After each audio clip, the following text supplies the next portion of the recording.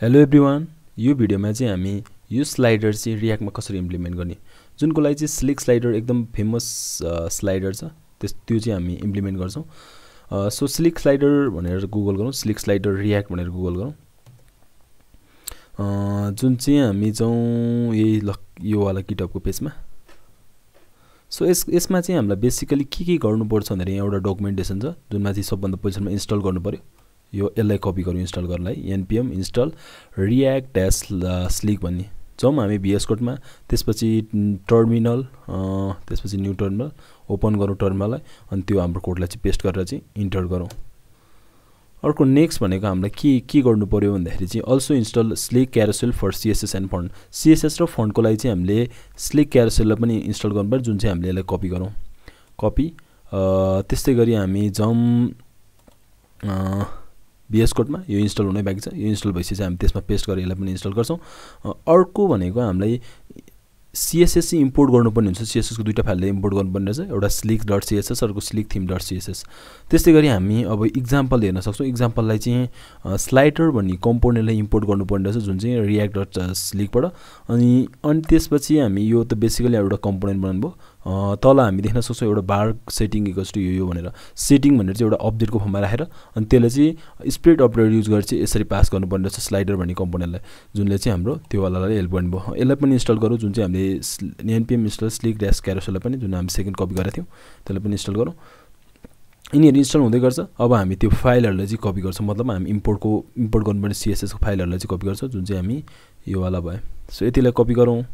BS कोडमा जाउँ यसलाई पेस्ट गरिदिउँ। त्यस्तै गरी हामी एउटा स्लाइडर भन्ने कम्पोनेन्टलाई पनि चाहे जुन चाहिँ हामी यसलाई पनि कपी गरौँ। इम्पोर्ट योवाला कपी यो हामी पेस्ट गर्छौँ सिएसएसभन्दा फाइलभन्दा बेसिकली अलिकति माथि राख्थ्यौँ केही फरक पर्दैन तल राख्दा पनि। अर्को भनेको हामी सेटिङलाई चाहिँ पुरैले कपी गर्नु पऱ्यो जुनलाई यतिलाई मैले कपी गरेँ। र हामी यो राख्छौँ रिटर्नभन्दा माथि। रिटर्नभन्दा राख माथि राखौँ।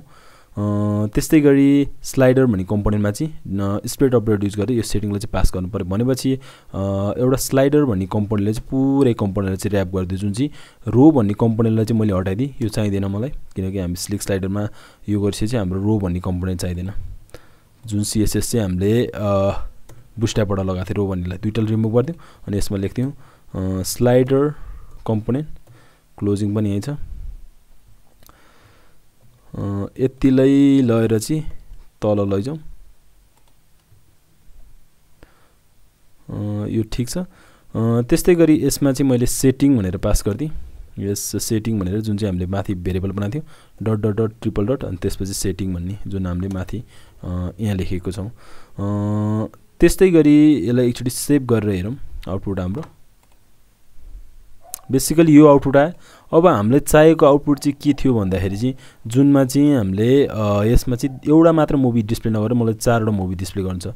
जुन हामी यहाँ माथि लेख्न सक्छौँ फो जुन चाहिँ स्लाइड्स टु सो भन्ने छ यसलाई चाहिँ हाम्रो वान मात्र देखाइरहेको छ हामीलाई चाहिरहेको छ फो सो मैले फो गरिदिएँ हाम्रो आउटपुट हेरौँ जुन चाहिँ यसरी आइरहेछ मलाई यो वेले आउटपुट नचाहेर चाहिँ मलाई अलिकति डिफ्रेन्ट वेले चाहिरहेको थिएँ। सो मैले एकचोटि कोल भन्ने क्लासलाई चाहिँ म पुरैलाई रिमुभ गरिदिन्छु।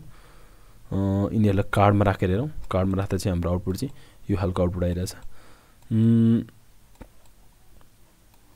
ओके यो आउटपुट अथवा हामी यो कोल भन्नेलाई राखिदिँदा अझ बेटर होला।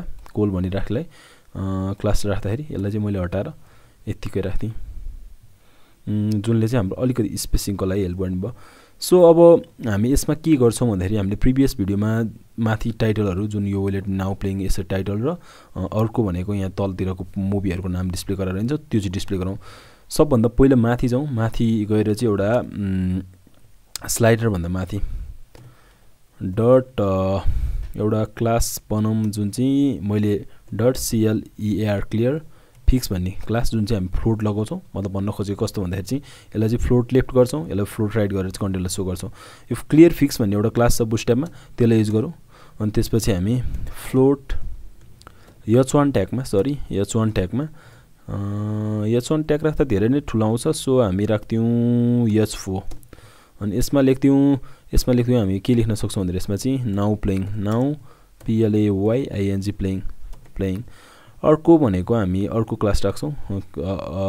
त्यसको लागि सिएल भन्ने चाहिँ यो चाहिँ क्लिकेबल हुनु पऱ्यो। भनेपछि हामीले यसको लागि चाहिँ एङ्कर ट्याग चाहियो। सो एङ्कर ट्याग लिएर एङ्कर ट्याग चाहिँ हामी बेसिकली एङ्कर ट्यागलाई चाहिँ हामी रिप्लेस गरेर चाहिँ लिङ्क ट्याग युज गर्छौँ। भनेपछि त्यो पनि हामीले इम्पोर्ट गर्नु पऱ्यो। Import link from from react router डमबाट यो लिङ्क चाहिँ आउने भयो। सो यो लिङ्क पनि आयो। त्यसपछि हामी यसलाई चाहिँ यहाँ लेख्छौँ।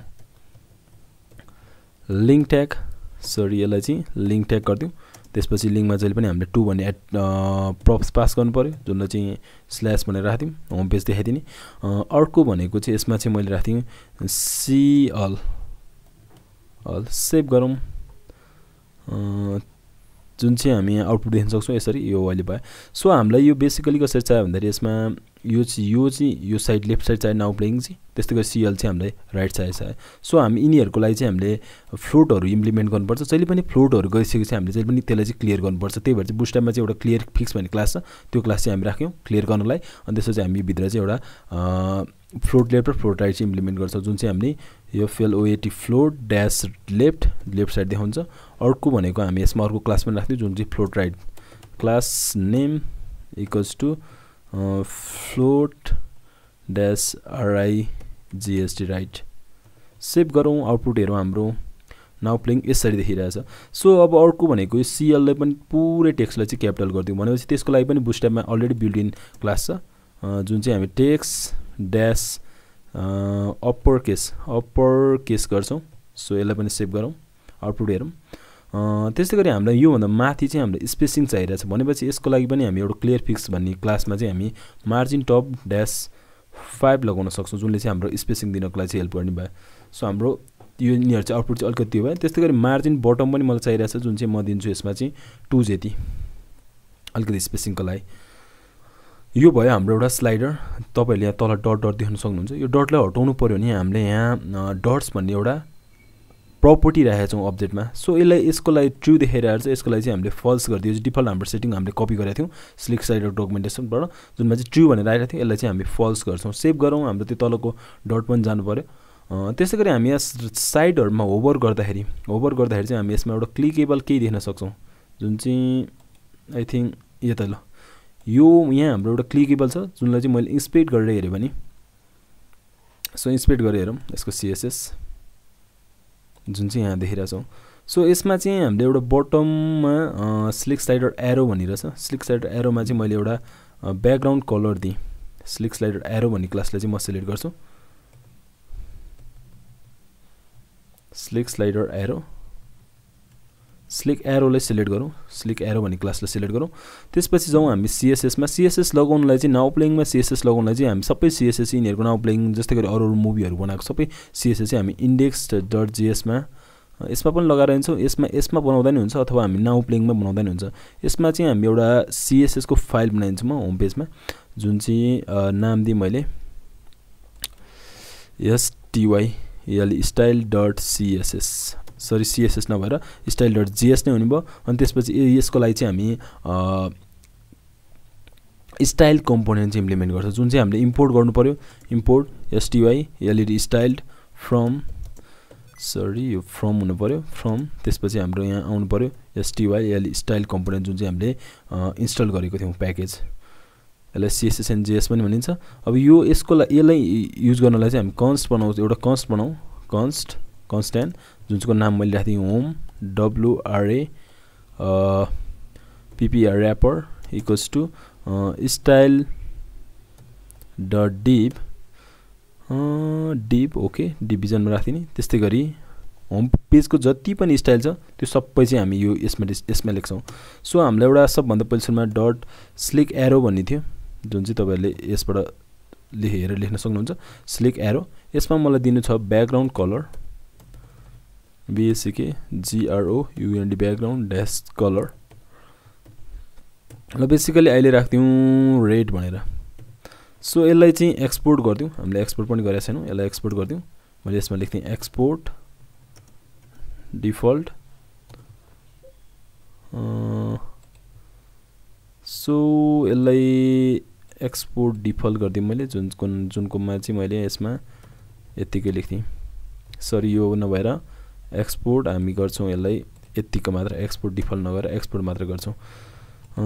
सो अब यसमा गएर हामी होम पेजमा गएर चाहिँ यसलाई चाहिँ इम्पोर्ट गरौँ।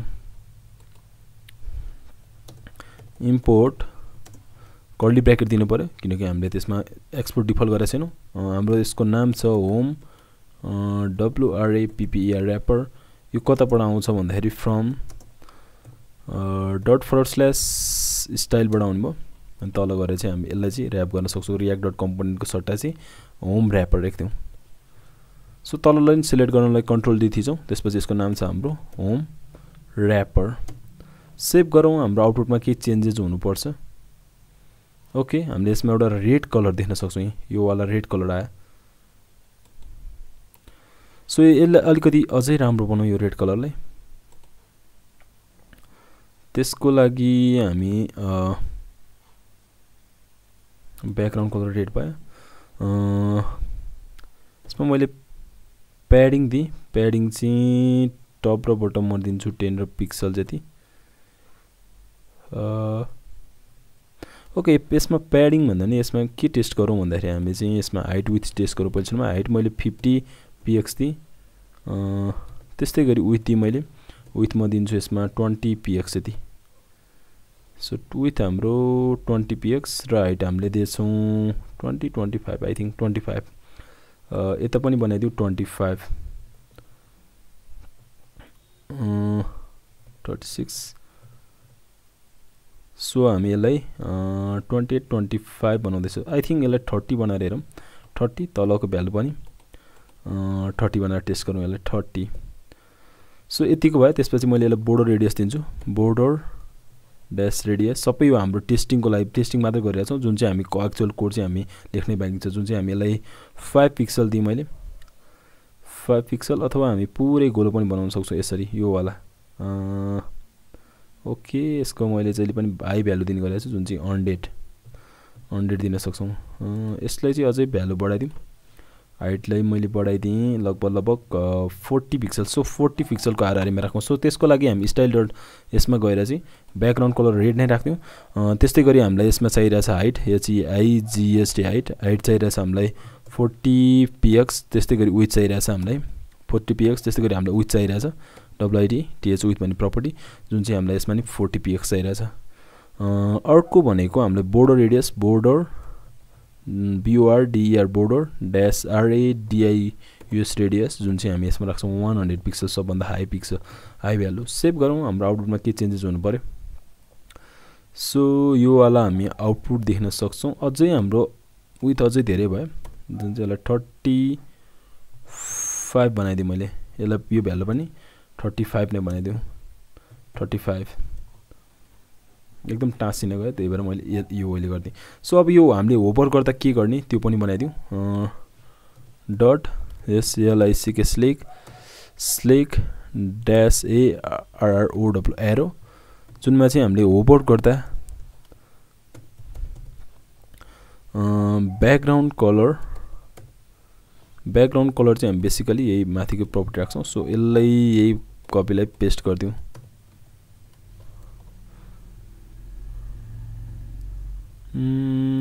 ओभर गर्दा अझै पनि लागिरहेको छैन।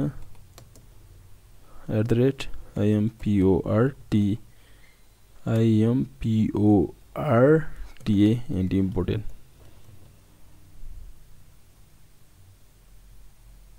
ओके ओके होपर गर्दा हाम्रो यो अझै गइरहेछ। सो यो होपर गर्दा जानेलाई चाहिँ हामी मिस्टेक गरेछौँ त्यही भएर। सो हामी ओभर गर्दा यही नै बसिरहेछ। ओके हाम्रो यो आउटपुट चाहिँ ठिक छ। तर हाम्रो क्लिक गरेर के गर्ने बेला चाहिँ हाम्रो गइरहेको छ भने चाहिँ हामी यसलाई अझै पनि ओभर गर्दा नि है त्यस्तै गरी हामी डट स्लिक यसलाई सिके स्लिक ड्यास एआरआरओडब्लु एरोलाई चाहिँ एसिटिआइबी एक्टिभ हुँदा पनि हामी यही गर्न सक्छौँ। ओके।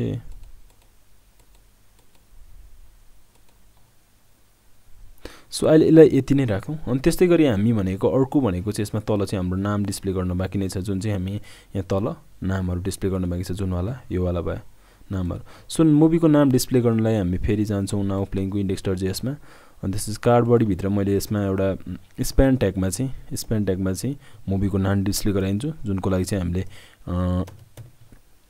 गर्नु पऱ्यो मुभी मुभी डट टिआइटी यसले टाइटल जुन चाहिँ हामी तल यसमा नामहरू देख्न सक्छौँ।